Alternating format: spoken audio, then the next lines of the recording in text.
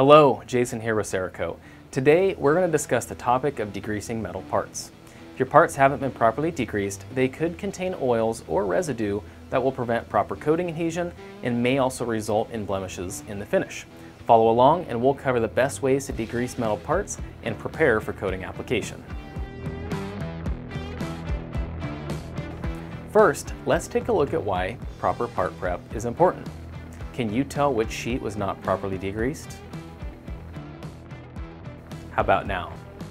Cracking and flaking are indications that this sheet was not properly degreased before spraying, leading to poor coating adhesion. This can also lead to blemishes and an uneven coating appearance. Now that we know why, let's dive into how. Cleaning and degreasing your parts should be the first step in the coating process.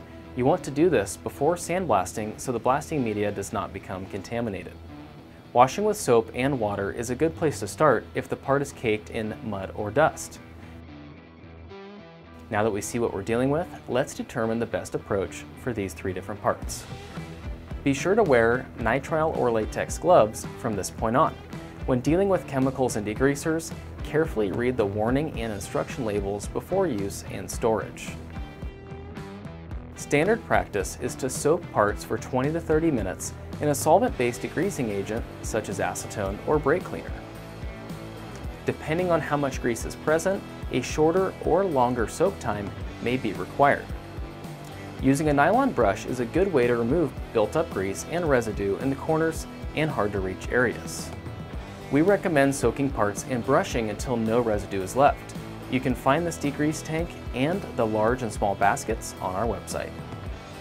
For billet or simple items with little to no surface contamination, a rinse or wipe with a multi-surface cleaning solvent such as acetone or a wax and grease remover can be sufficient. When using acetone, simply saturate a lint-free cloth and thoroughly wipe all the surfaces of the part. Acetone will rapidly evaporate without leaving any residue. When using a wax and grease remover such as Prep Ball, be sure to read and follow the provided directions. Lightly saturate a lint-free cloth and wipe the entire surface. Immediately after, wipe dry with a separate cloth to remove the solvent from the surface before it dries. This will prevent the solvent from leaving a residue. Water-based solvents, such as Simple Green, may also be used for wiping or soaking parts. Extreme Simple Green is non-caustic and specially formulated for use in parts washers. Softer metals, such as aluminum, are more susceptible to corrosion and should not be exposed for prolonged periods of time. These are a great degreasing solution because unlike solvents, they're non-flammable and fume-free, but they will leave a residue on the surface that you must rinse off with water before coating the parts. Our third part has a hardened layer of difficult to remove buildup you can resolve this with a longer soak and some elbow grease, or call in the big gun. Ultrasonic cleaners are a common tool for removing buildup in hard-to-reach areas. They use a high-frequency sound wave to loosen debris from the parts, providing an effective and efficient degreasing process.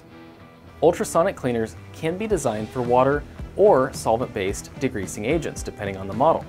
Most will have adjustable water temperature, cleaning cycle, duration, and sound wave frequency settings depending on the material being cleaned. Make sure you refer to the owner's manual for more information. These are a few proven degreasing methods that we recommend. There are many methods for degreasing that we didn't discuss, such as vinegar and citrus cleaners. Feel free to try different methods and share your experience in the comments. Subscribe to our channel and stay tuned for our video about degreasing sensitive, non-metal parts as well as a deeper dive into ultrasonic cleaners. Thanks for watching, see you next time.